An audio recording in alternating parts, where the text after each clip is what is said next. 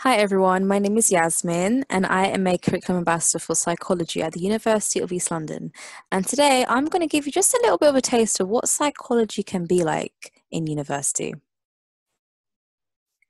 So, just before we get into the aims and objectives, let me just tell you how I got into psychology. So, when I was probably about like 14 or 15, maybe, I was really fascinated by the works of Derren Brown. And for those of you who don't know, Derren Brown is like an illusionist or a magician sort of thing, and he uses psychology and misdirection to trick his audience and things like that. So when I really got interested by his TV shows and things like that, uh, um, I purchased his book, which is the one that you see on your screen called Tricks of the Mind. And this really taught me about the science behind certain things and especially about psychology. That's the first time I ever heard of psychology um, from Derren Brown. And when I researched psychology, I realized what it's mainly about. And it's mostly about just making sure people are healthy um, in all settings and making sure they're okay and best ways to make them healthy and what makes them unhealthy and what makes them think or behave in certain ways. And I just really, really found that really cool because I was always interested in how things worked. I was, all, I was always interested in mysteries, you know, kind of like, um, you know, when you see like a magic card trick, maybe on, I don't know, Britain's Got Talent or something, and they make a trick and you're just sitting there thinking, how on earth did that happen? Like, how did they do that? And that is really the feeling I get with psychology because there are so many strange stories that you hear and you're always just kind of trying to think oh how did that happen? But the best part is that you actually like try and find out how it happened you know whether it's through experiments or research. And so that's why i love psychology. Now this is what we're going to get up to today. So, we're going to look at the different types of psychology, and this actually includes new types as well. So, you may come across types that you've never heard of before. We're also going to look at the best and worst things about being a psychology student, at least for me. We're going to take a look at careers in psychology and, of course, salaries, which I'm sure you guys want to know about. And we're also going to take a look at entry routes into psychology. So, that is if you're maybe interested in taking it up as a degree, I will talk to you about how to actually get into that, into the university. Now, first off, where is this guy looking? Is he looking at you? Is he looking to the side, maybe? Let's see what happens when we look into the middle of his eye. He's looking ahead, right? Now, what happens when we look at the tip of his nose? Suddenly he's looking to the side. It's a really, really strange illusion. I know, I know. I'm sorry. But let me explain. So, there are lots and lots of pieces missing. Now, this isn't an exact half of a face, is it? It's not there is the um, the bridge of the nose that's missing, or the middle of the forehead, or the middle of the chin, the cupid's bow. Lots and lots of things are missing. But your brain really wants to make sense of things for you, wants to make things very easy for you. So it takes as much information as it can and builds a picture for you. And that's why it kind of flits between one picture and another because it's getting a little bit confused. Now, I'm just going to give you about 20 seconds just to read this. Ready, go.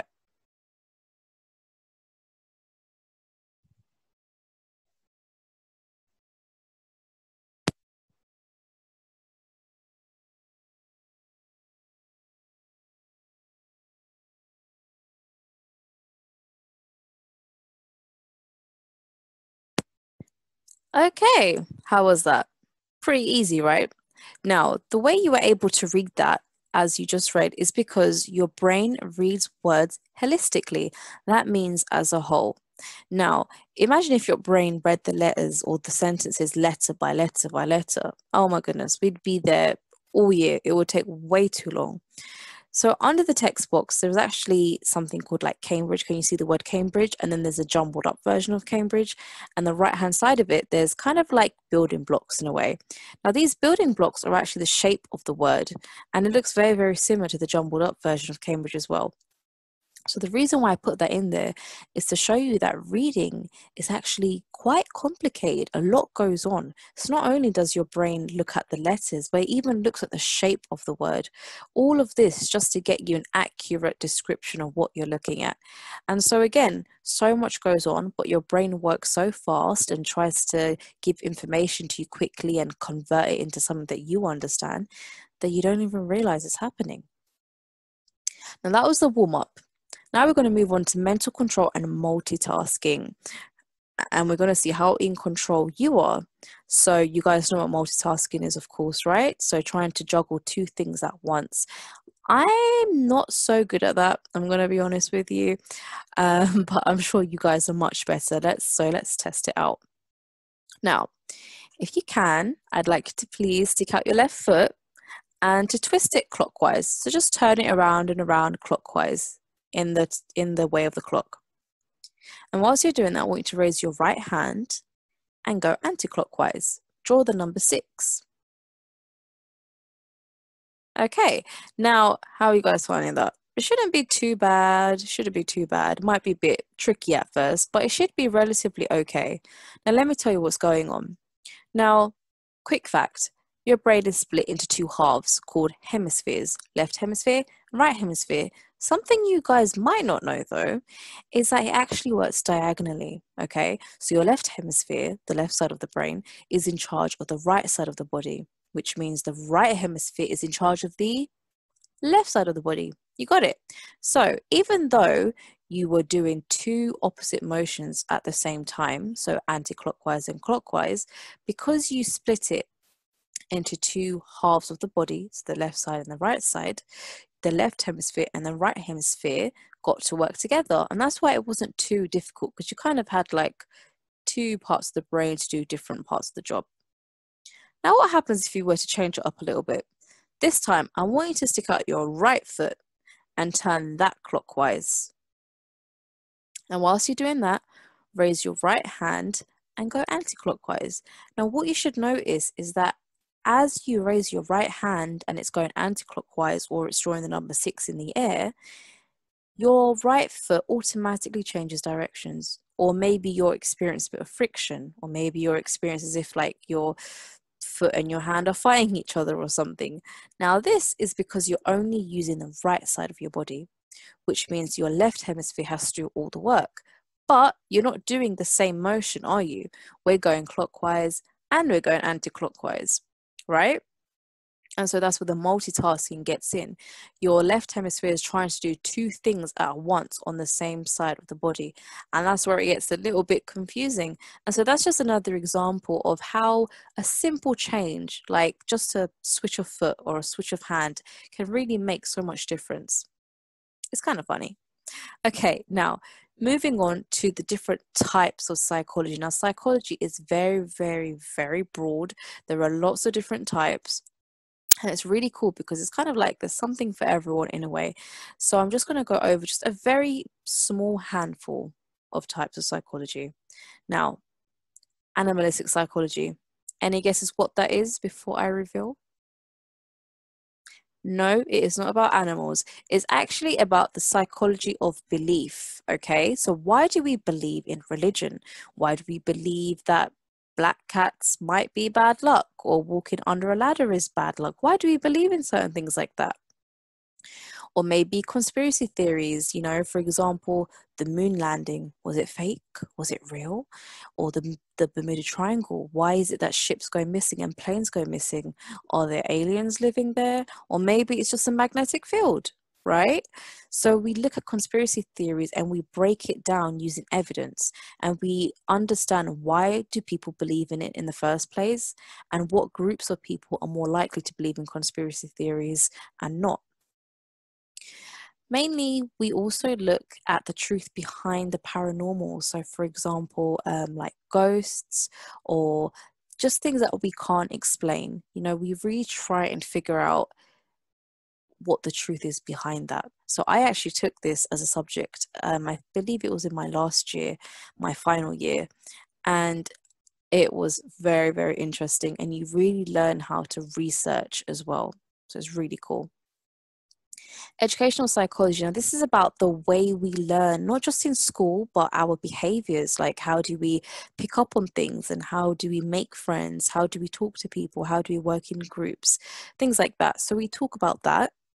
Also how do we remember things? So for example you know on the left hand side um, you can see like there's like a little gray looking brain thing and there is a little blue thing. That little blue thing is called the hippocampus okay? So that is a very key part in memory okay and so again we learn how do we remember things how why is it that we are able to remember the lyrics of a 3 minute song but we can't remember a shopping list comprising of just 10 items now, we move, we also learn about negative versus positive reinforcement. So, for example, something called token economy. Okay, so let's see. When I was in primary school, and secondary school, whenever I did really, really good, I would get things like, um, I think, merits and postcards sent home if I was doing really well in maths or English.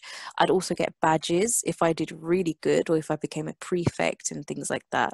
I don't know what you guys have, maybe you guys have similar, but this is an example of positive reinforcement. So, this is your teacher's way of saying, keep up the good work. This behavior is really, really good keep doing it. Okay. Now, negative reinforcement. So let's see if you do something really, really bad and you might get minutes taken off your break, or maybe you get detention, or I don't know. You know, this is a way of teaching you that this is bad behavior and you can't be doing that. Right. So that's negative reinforcement. And that's also something that you learn in educational psychology. And then we have forensic psychology, which is a combination of psychology and law. And there is actually something um, that I studied in forensic psychology called eyewitness testimony. And I found that I found this really, really cool and very interesting. It changed the way I see things. So I thought I would share it with you guys. So, eyewitness testimony, in case you guys don't know, is the question of is seeing really believing. So, for example, let's say you're walking on the pavement or something and a car accident happens, right? And you're a witness to that. You saw exactly what happened. And you saw that person A was going way too fast and person B wasn't doing anything bad, right? So now let's say they go to court because person A and person B are blaming each other. And you also go to court as a witness saying, well, you know, person A was going really, really fast. It wasn't person B's fault. Now, you may think that this is enough evidence to suggest that person A is innocent, or for, I mean, sorry, that person A isn't innocent. But actually, your memories can change. It can change over time. There could be certain things that influence your memory. And so now, the jury or the judge, whoever's listening to you in court, they might not believe you 100% because of something called eyewitness testimony. And there have actually been real life cases where, you know, people have gone down for crimes they didn't do because a witness got it wrong, right? So that's something that I found really cool um, to learn about. So I thought I'd share it with you. you also get a chance of providing a psychological perspective to criminal cases. So perhaps somebody who did something really, really bad, they could actually have had maybe, I don't know, maybe they watched loads of TV shows where they showed, you know, like stealing and things like that. And maybe that explains why they're like that. You know, you look at the psychological perspective, like, why is this person like this? You know, what predictions can I make to see how what what the criminal's next move is? You know, you really learn about things like that. It's really, really cool. Now we go into neuropsychology. Now this is my favorite type of psychology. I love this type of psychology. It is the relationship between the nervous system and behavior. So, what is it about our nervous system that affects behavior and vice versa? So, for example, let's just say, um, I don't know, maybe you injure your brain a little bit in some way and you go to sleep for a long time and you wake up and suddenly you just you can't remember who your friends are. You know you can't really remember the color of your house or where you live and things like that. Now your neurologist now may decide ah this must be because the part of this person's brain injured is responsible for memory. Because why would suddenly this person be affected by it you know so that is something we learn about so how brain injuries causes people to act differently and what brain injuries can teach us of our brain functions so now we have sports psychology. Now, sports psychology is about how our mind can affect athletic performance or how athletic performance can affect our mind and our psychological well being. We'll also learn about helping people or helping athletes with anxiety, we talk about rehabilitation. So for example perhaps a sports um, a sportsman or a sports lady they lose i don't know maybe their arm or they break their leg or something they may need help to get back on track and how to get back into the sports field you know so that's something that you also learn about in sports psychology. Now, this is occupational psychology, and this is actually what I specialize in. I'm doing a master's in occupational organizational psychology. So it's definitely something I'm interested in. And it's about how work can affect human behavior and how human behavior can affect work. So, specifically, we look at how to make life more enjoyable at work for employees because we know that if employees enjoy themselves and that means they actually do better at their work and if they do better at their work then that means organizations become more successful right? So it's about making working life easier and happier for others and making sure that everyone is healthy and their well-being and their work performance is at a very good and stable level. So that is occupational psychology slash business psychology. Now this is something called modules, okay? Going to tell you a little bit about modules. And if you don't know about it, don't worry. Okay, so modules are kind of like mini classes that your course is breaking broken down into, right? So you know for GCSE, some options you have to take, like maths and English, and some options you can choose, like maybe um, design and technology or extra science. Okay, so every university offers different modules per course, and like I said before, it is a mix of compulsory and optional options. And this actually allows you to learn what you want to learn. So on the left, can you see those little blue boxes? These are the options that I picked for my final year of psychology. So I picked occupational psychology, which we spoke about, and I picked psychology of belief, which we also spoke about, anomalistic psychology, and I also picked cyber psychology and that is about how technology is changing around us and how we are changing technology. So I thought would be really, really useful. So again, just because I picked psychology at university doesn't mean I'm just going to learn psychology full stop. You can actually break it down into smaller, smaller components. And so you can kind of customize it to learn what you want to learn and maybe learn about things that you can see yourself in the future. So, moving on to the best and worst things about being a psychology sorry, being a psychology student for me was, okay?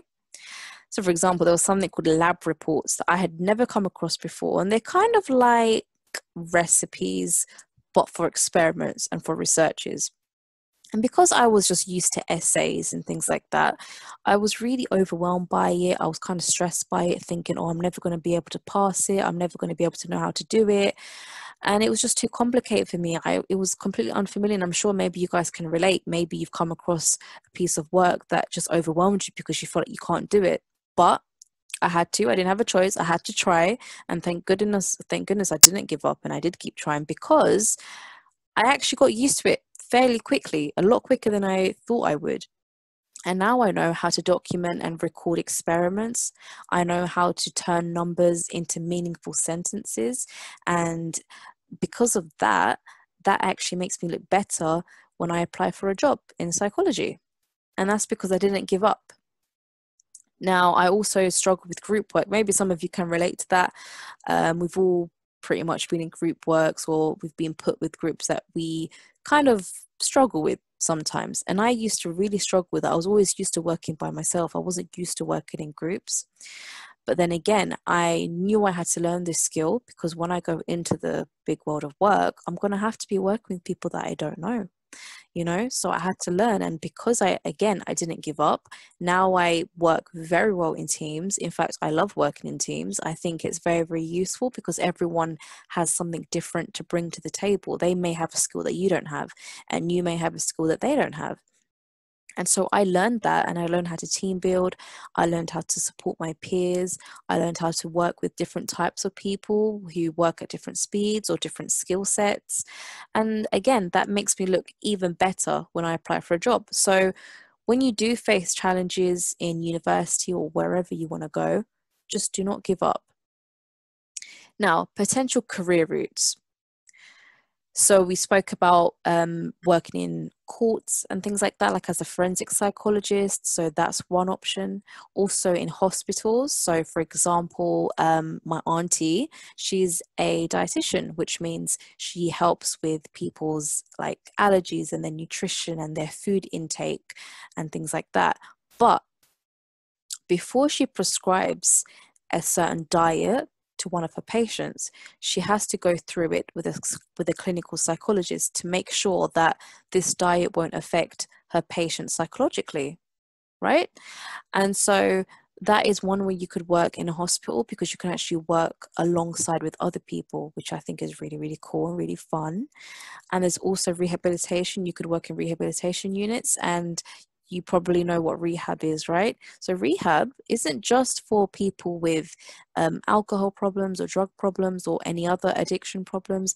It's also for people who maybe have lost their limbs suddenly, like maybe they got into a skiing accident and they lost their arm or they lost their leg or something, and they just don't know how to live a normal life without it. And so they go to a rehabilitation unit where people train them to get back on their feet again or, you know, be really, really strong and just live a normal life. There is also the option of working in university as a researcher or a lecturer, like a teacher, but in university. You can also work in businesses and organizations, like I said before, just kind of partnering with them to help them do their best.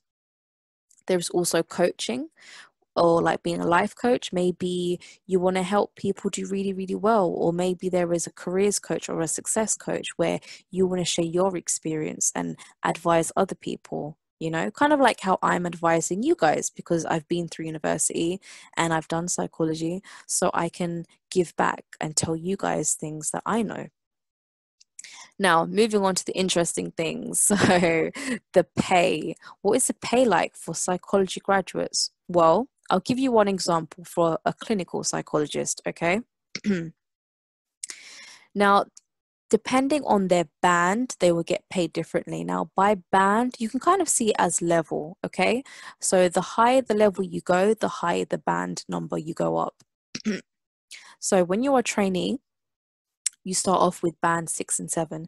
So this is about 30 to 37,000 a year. The more experienced you become, so such as band 8 or band 8B, you get maybe around 44 to 60k a year. And then at consultant level, which is band 8C and 8D, you get 61 to 86K a year. And then finally, when you hit the managerial roles, which is band 9, you can be getting 89,000 to over 103,000 pounds a year. Okay, now this website here, savethestudent.org, that's a really good site if you want extra information. And over here, I want you guys to do this in your own free time. Now this is called the careers, um, the prospects career quiz. And you take the quiz, you answer a few questions about yourself, and they give you a list of really good suggestions of what jobs would be good for you, um, you know, what it entails, the salaries, how to get there. Um, you also look at like real life case studies, so maybe people who have gone in that direction and they can give you advice. So I would really recommend you guys do this. Now, entry requirements for psychology if you want to do it for at, at, university. Now, I won't go too much into this because you will learn about this um, later on. But just to let you know, UCAS is a system um, through which you apply for university through UCAS points. Okay, and universities usually ask for specific A levels or equivalent, so it's always best to check ahead so you know what path you're taking. They always ask for five GCSEs minimum, including maths and English, always maths and English. And just remember, it's never ever too early to plan ahead. You know, it's never too early to plan ahead. And you may change your mind in the future, you never know. But still, it's always good to plan ahead. So, just a very quick recap. So, we've had an insight into what our mind can do, and we've also seen just how complex we are. Like, even the way we read things, it's, it's you know, it's quite a complex thing, but we're doing it anyway. We're really amazing. So, we've also explored the different types of psychology. Do you guys remember? Okay, so we have forensic psychology, remember? We also have educational psychology. We've also got sports psychology, neuropsychology, and so forth.